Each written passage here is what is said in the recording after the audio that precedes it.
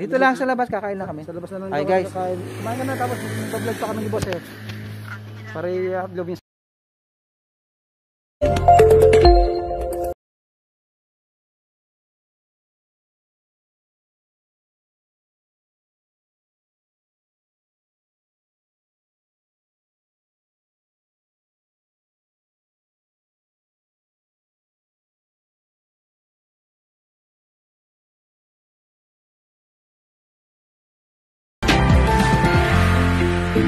mag-subscribe, ring the bell, mag-like, comment, at i-share mo na.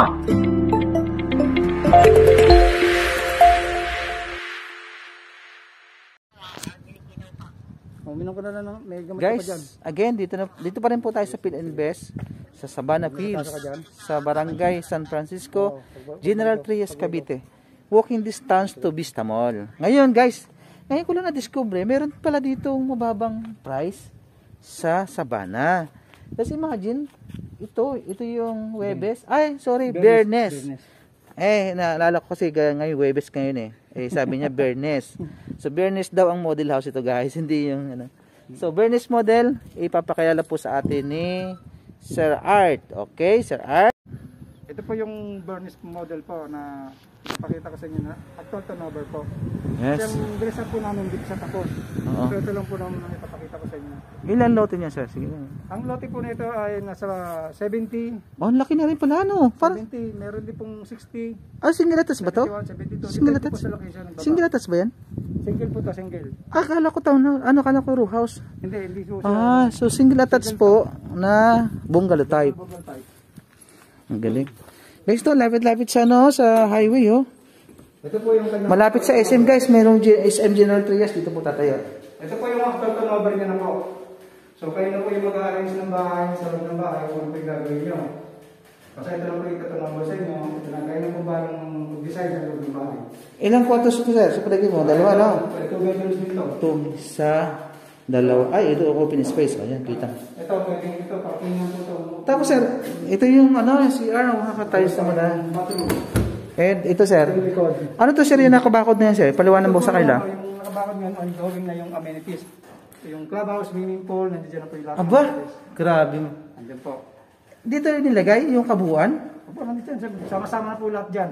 Ah, kuya. Guys, yun ang, yung kagandahan po, yung, ano, yung... Yung phase 1 nasa yung phase 1 pa, di ba? Ito yung phase 1. Ang phase 1 andito po yung amenities at andito po yung pinaka murang bahay ito. And guys, 70 square meter, magkano lang? Murang-mura lang. So sir, ito ba yung available sa anong financing ito, sir? Ah, available po dito bank, in-house, deferred cash, spot cash, spot spot cash. Wala po dito Ay, bigyan mo nga sila sir kunting sample na computation. Sample lang. So, may, may sa- ang computation po dito na sample, may 1.3. So 1.3 sir, magkano down payment? Ang reservation magkano? Ang reservation niya po dito is 5,000. Oh, mababa lang. Guys, 5,000 lang pala. Tapos ang yung down Yung- payment is ilang percento?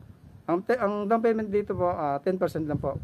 Ah, so nasa 130,000 na something, Oh, ganun. opo, 130 Kung 130 payable ng 12 months. at 12 months. So guys, wala nasa 10,000 lang po. Ah, tama. Nasa na? 11 po, 11 Oh, about. sa 11,000 lang ang monthly mo sa down payment. Then after ng down payment, sir, yung 10 90% niya sa bank, magkano Yun po ba yung yung- pinaka-estimated? Yung pinaka-estimated po niya nasa mga nasa mga 15. Ah, 15,000 lang guys. Ito, nandito ka na. Ang ganda-ganda. Ang laki ng area.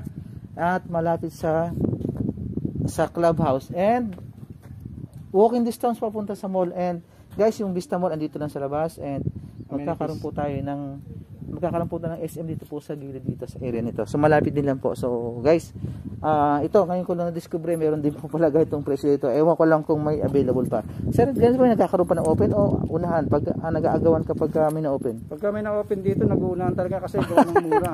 Yan guys ha, ah, narinig nyo. Dito, sis na napakamura po ng project ni Bill Bess, although akala natin mahal, pero sa ganitong halaga, 1.3 million, 70 square meter, tapos nandito ko na sa ganitong area, napakamura po nito guys. Kaya naman po pala, napaka, napakabilis po maubos ang project ni Bess. Ngayon, ngayon ko lang po na-notice. Kasi isipin niyo po, no, kahit po nung lockdown, even ng lockdown guys, grabe, uh, agawan sa unit yung mga ano mga agent. So, Guys, yun again ha. May yun yung pinaka typical selling price in computation. Kapag po tayo ay gusto na ganitong unit, ito po, ah, lapitan nyo lang po kami. O, ako si Jerry Bustamante, ah, licensed broker, VP External of uh, Rebab Cavite ay yan, kas- kasama ko po si Sir Art, yung isa sa pinaka matinig kong salesperson na talagang pag fill and press project po talagang kahit napik, nakapikit po siya kaya niya po kayong i-assist guys sa mga detailed computation kapag may available sila po lalapitan natin. Kahit po kayo sa akin lumapit ibabato ko po sa kanya para i-assist po niya kayo. Alam ba sa akin po kayo nag-inquire sa akin bilang barberong broker yung inquiries niyo po sa akin ay ibaba ko po sa kanya. Siya po ang mag-directly mag-assist sa inyo kasi siya po ang mas magaling sa akin. Again Sir Art pa, paalam ka sa kanila and pasalamat ka. Subscribe mo. Ah, ako po si Arthur Quibral, isang salesperson ng Pilimbest. Ah, kung kayo po ay may mga katanungan about dito sa property ng aming pres- pre- i-present sa inyo, kontakin lang po nyo si Sir, Bo, si Sir Jerry Bosnamante and then kukontakin din po ako ni, ni, ni Boss para i-assist ko po kayo. Yan. Ah, huwag niyo po kami, kami kamalimutan at kung gusto niyo magkabahay, subscribe subscribe ah, i-subscribe niyo lang po ako. yung aking ating YouTube, channel aming YouTube channel po. Barberong Broker Ah, Barberong Broker po. Okay, salamat, Salamat po. po. God bless. Paliwanag mo sir, clubhouse sir. Ito po yung clubhouse Ikaw na hawak, hawakan mo. Hindi sir. Ito po yung clubhouse na ongoing na kinoconstruct pala ngayon. So, wag natin pong antayin na tumaas to yung presyo kasi pag na nakakatayo na po to, tataas na po yung value ng bahay dito. So, habang maaga at na ginagawa pa lang po, ah kumuha na po tayo na, na makakapag-invest na po kayo ng mura at malapit pa sa lahat sa mga landmark po. Palabas ka pa tayo. Ito na po, palabas na po kami. Kaya sila sa kagandahan ng ano na. Ano bang maganda dito sa area? Itong kagandahan naman sa Pininvest, itong kagandahan sa Sabana po, ah malawag po kanyang kanyang road wide and then malapit sa mall at andi dito na lahat. Wala ka na pong hanapin pa na iba po kasi ah, kasi marami ah, dito ang sasakyan dito nandi dito na rin lahat papuntang SM Molino ah, Dasma, Palapala nandito naman, papuntang Tagaytay, nandito na rin po. Ah, bali ang sakayan lang po doon sa may tapat ng All Day All Homes. Yan po ang kagandahan. Kaya marami pong kumukuha dito gawa ng yun po ang mga nakikita nilang improvement pagdating ng araw po. Ito labas ng gate. Ito na po yung pinaka-entrance. Labasan ng gate po, ito po. Palabas na po kami. ba? Boss. Paano pa sa nagkakaiba tayo? Dito ba mo yan? Guys, ituturo po tayo ni Sir Ar si Arthur papunta sa Vista Mall galing sa gate. Pakitunood niyo po. Ito naman. Ano ba? Ito. Ito po, palabas na po tayo gaya ng gate po. Ito po yung papuntang Vista Mall. Pwede rin niyo po itong lakarin kasi exercise din po to. Ah, para at least na ina-imagine nyo kung gaano siya kalapit kung sakali nyo lalakarin po. Ito po nung nakikita nyo sa bandang kanan po, property pa rin po ito ng Pilimbis po.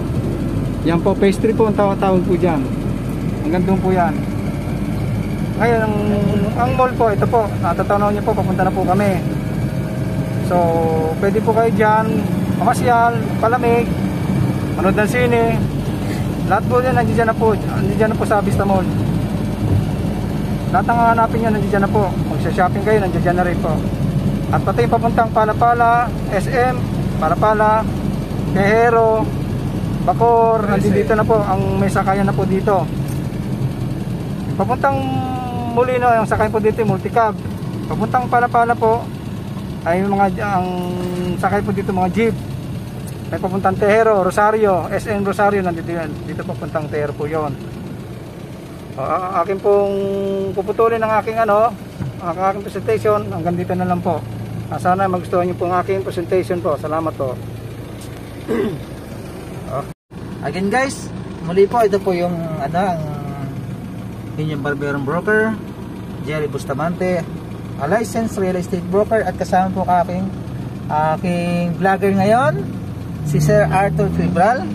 Ayan po, pa, since na masipag po siya magmaning at siya po aking vlogger, may premyo po siya sa akin ngayon na i-treat ko naman po siya sa lunch. Yan, dahil mamaya po pagkatapos ng lunchtime, babalik naman po siya sa kanyang duty sa gate ng Sabana Pills. Again po, guys, ito yung Yeah, Vista Mall, General Trias. And guys, malapit din po dito itatayo yung SM General Trias. Kaya abangan niyo po. Kaya ito pong property dito sa sa Sabana ay napakabilis pong ma-sold out. Napakabilis sa benta.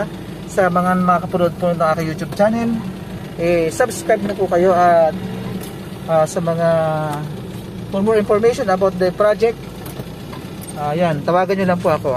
Again po, 拜拜。